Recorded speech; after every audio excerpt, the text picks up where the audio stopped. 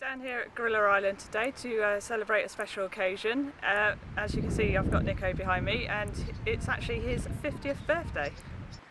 Right, today for his birthday we've given him a special one-off treat of a birthday cake and some flowers. Uh, the birthday cake's actually especially made for Nico. It uh, contains a lot of fresh fruit and vegetables, a little bit of sponge cake and some icing for him as well just as that little extra treat. Uh, it was actually made by our very own chefs here at Longleat uh, in the Wessex Pavilion and, and it went down really well. He really really enjoyed it.